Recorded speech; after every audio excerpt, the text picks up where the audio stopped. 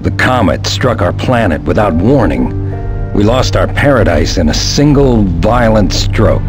The impact released a virus which swept through the land and killed millions. They turned out to be the lucky ones. For those that did not die became mutations of humanity. Some became fanatics who heard the voice of a malignant god in their heads and called themselves the Order. Those of us who were deaf to this voice suffer horribly and are forced to serve these ruthless psychotics who wield weapons more powerful than anything we can muster.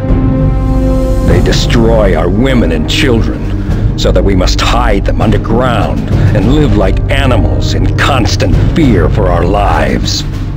But there are whispers of discontent. If we organize, can we defeat our masters? Weapons are being stolen. Soldiers are being trained. A movement is born. Born of lifelong strife.